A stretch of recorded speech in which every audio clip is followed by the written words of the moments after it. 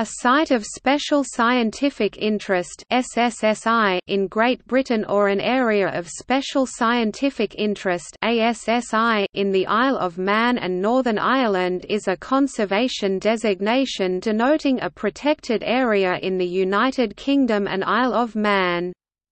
SSSI, ASSIS are the basic building block of site-based nature conservation legislation and most other legal nature, geological conservation designations in the United Kingdom are based upon them, including national nature reserves, Ramsar sites, special protection areas, and special areas of conservation.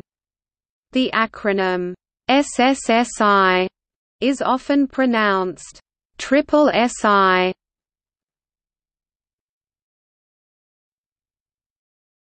Topic: Selection and conservation.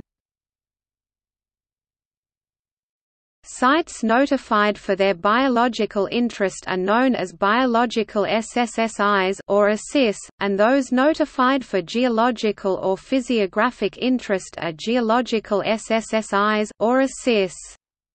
Sites may be divided into management units, with some areas including units that are noted for both biological and geological interest.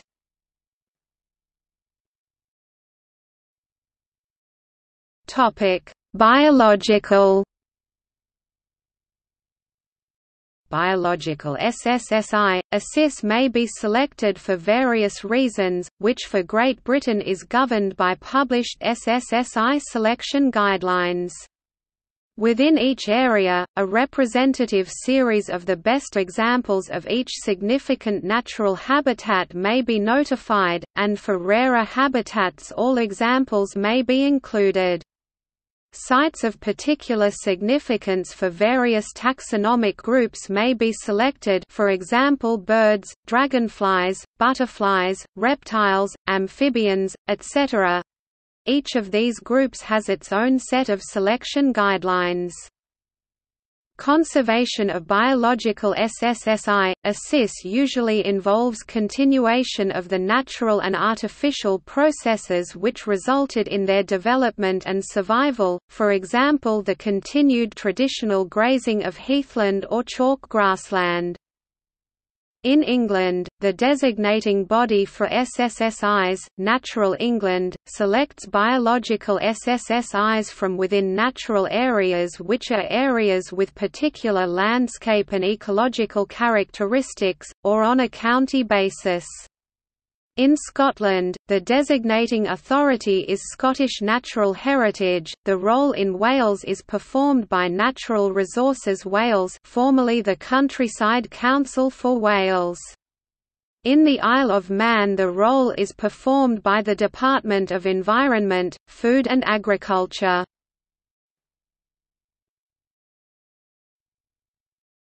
Topic: Geological geological SSSI, ASSIS are selected by a different mechanism to biological ones, with a minimalistic system selecting one site for each geological feature in Great Britain. Academic geological specialists have reviewed geological literature, selecting sites within Great Britain of at least national importance for each of the most important features within each geological topic or block. Each of these sites is described, with most published in the Geological Conservation Review series, and so becomes a GCR site. Almost all GCR sites but no other sites are subsequently notified as geological SSSIs, except some that coincide with designated biological SSSI management units. A GCR site may contain features from several different topic blocks, for example a site may contain strata containing vertebrate fossils, insect fossils and plant fossils and it may also be of importance for stratigraphy. Geological sites fall into two types, having different conservation priorities, exposure sites, and deposit sites. Exposure sites are where quarries, disused railway cuttings, cliffs or outcrops give access to extensive geological features, such as particular rock layers. If the exposure becomes obscured, the feature could in principle be re-exposed elsewhere. Conservation of these sites usually concentrates on maintenance of access for future study. Deposit sites are features which are limited in extent or physically delicate. For example, they include small lenses of sediment, mine tailings, caves and other landforms. If such features become damaged they cannot be recreated, and conservation usually involves protecting the feature from erosion or other damage. Topic legal status Following devolution, legal arrangements for SSSIs Scotland, England, Wales and ASSIS Northern Ireland differ between the countries of the UK. The Isle of Man ASSI system is a separate entity. Scottish Natural Heritage publishes a summary of the SSSI arrangements for SSSI owners and occupiers other than public bodies which can be downloaded from the SNH website. Legal documents for all SSSIs in Scotland are available on the SSSI Register, hosted by the Registers of Scotland. Further information about SSSIs in Scotland is available on the SNH website. The decision to notify an SSSI is made by the relevant nature conservation body the appropriate conservation body for that part of the United Kingdom, Northern Ireland Environment Agency, Natural England, Scottish Natural Heritage or Natural Resources Wales.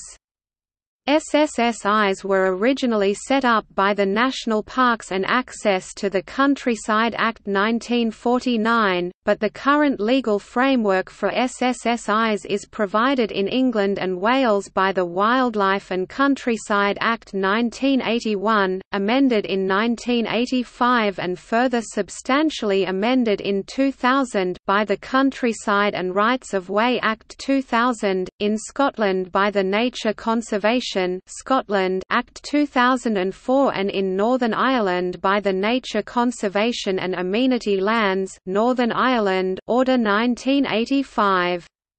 SSSIs are also covered under the Water Resources Act 1991 and related legislation.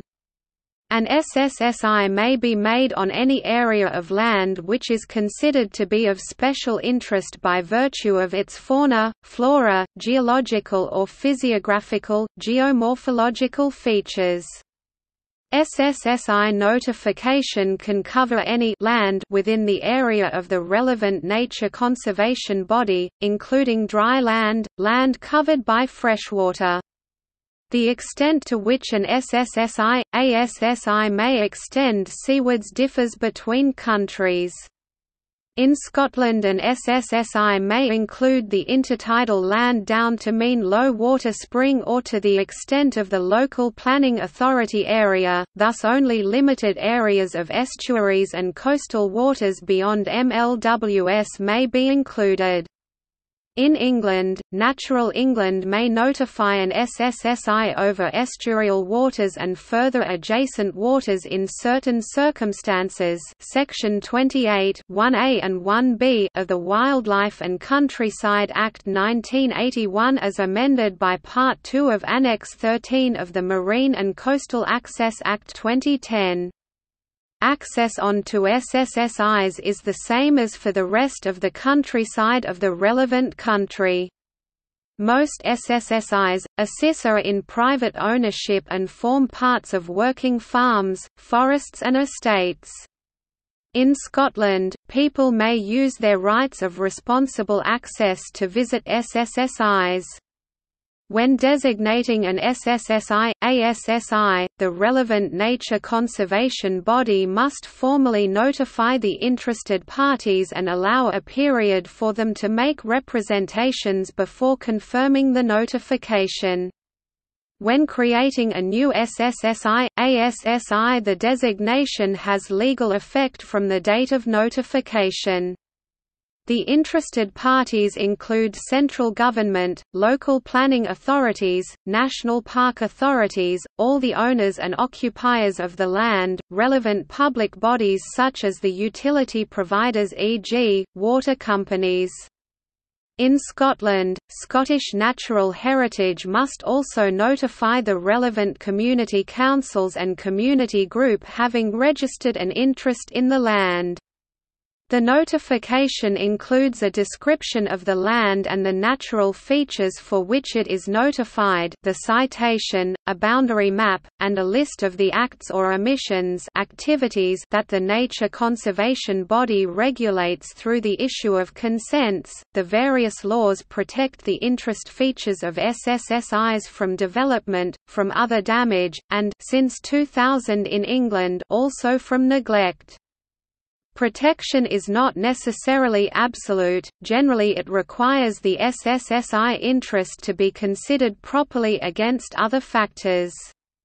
Local planning authorities are required to have policies in their development plans which protect SSSIs.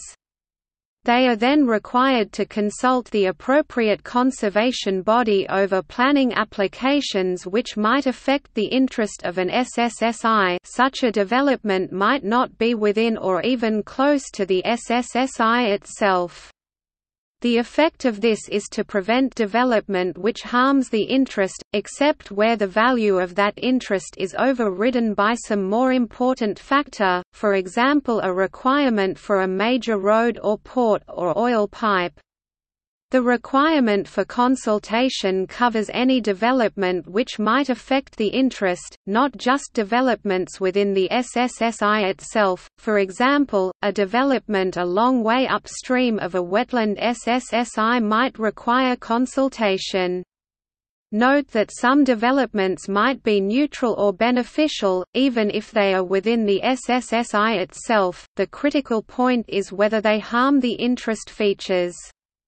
The owners and occupiers of SSSIs are required Scotland, England, Wales to obtain consent from the relevant nature conservation body if they want to carry out, cause or permit to be carried out within the SSSI any of the activities listed in the notification.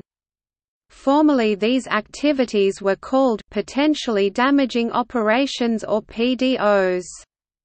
Under the current legal arrangements they are called operations requiring consent or ORCs Scotland, or operations likely to damage the SSSI interest or OLDS England and Wales.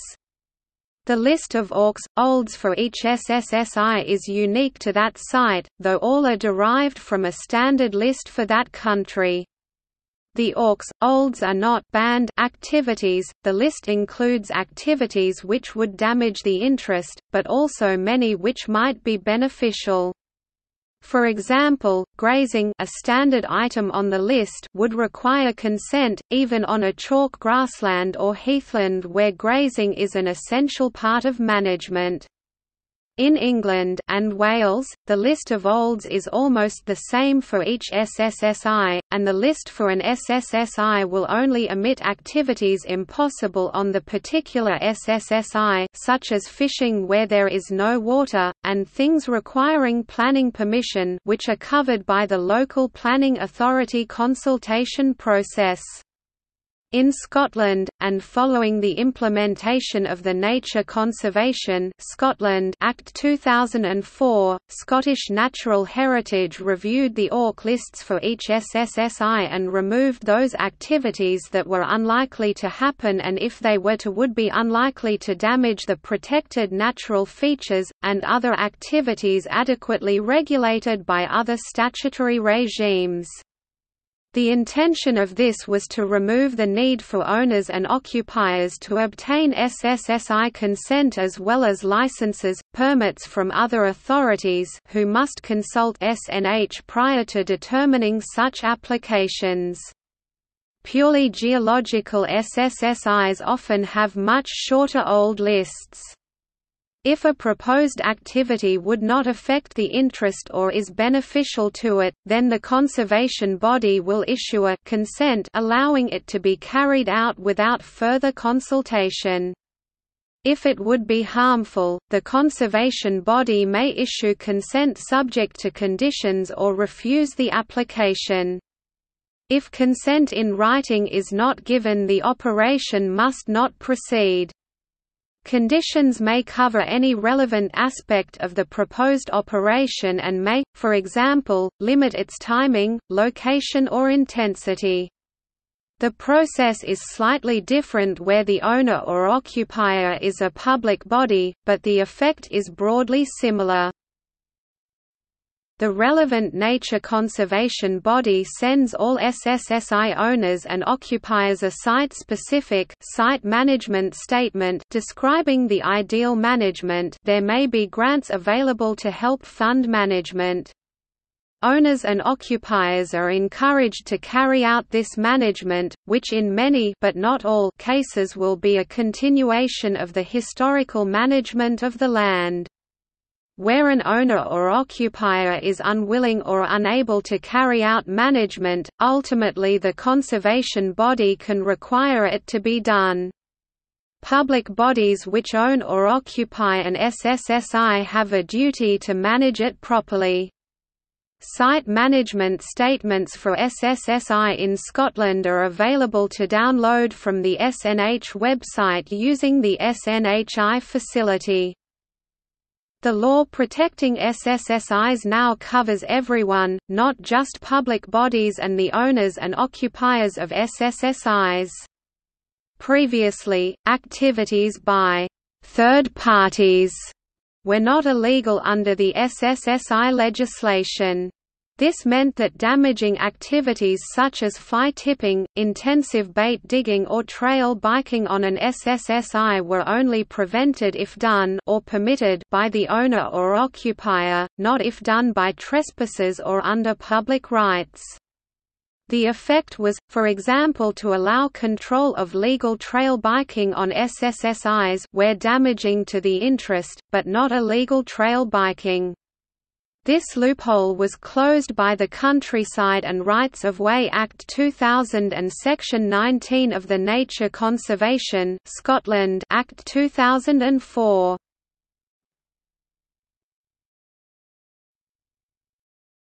Topic: Notification The process of designating a site as a special scientific interest is called notification, this is followed by consultation with the site's owners and occupiers, and the notification is then confirmed or withdrawn in whole or part. At the time of the passing of the Wildlife and Countryside Act in 1981 many SSSIs were already in existence, having been notified over the previous decades under the National Parks and Access to the Countryside Act 1949. Each of these was considered in turn, and either denotified, or renotified brought under the provisions of the new Act, often with boundary changes. This complex process took some ten years to complete for the several thousand SSSIs. For the purposes of selecting the original tranche of SSSIs, Natural England's predecessors the Nature Conservancy, the Nature Conservancy Council and English Nature used a system termed, "'Areas of Search' AOSs. In England these were largely based on the 1974–1996 administrative counties with larger counties divided into two or more areas, whereas in Scotland and Wales they are based around districts. The individual AOSs are between 400 square kilometers, 150 square miles, and 4000 square kilometers, 1500 square miles in size. There were 59 AOSs in England, 12 in Wales, and 44 in Scotland. Watsonian vice counties were formerly used for selection over the whole of Great Britain.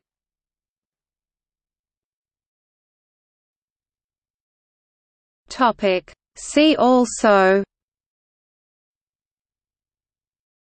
Conservation in the United Kingdom Joint Nature Conservation Committee List of ASSIS in Northern Ireland List of SSSIs by area of search List of the largest sites of special scientific interest in England Protected sites for nature conservation in the Isle of Man. Natural Area Code. Site of Special Scientific Interest Hong Kong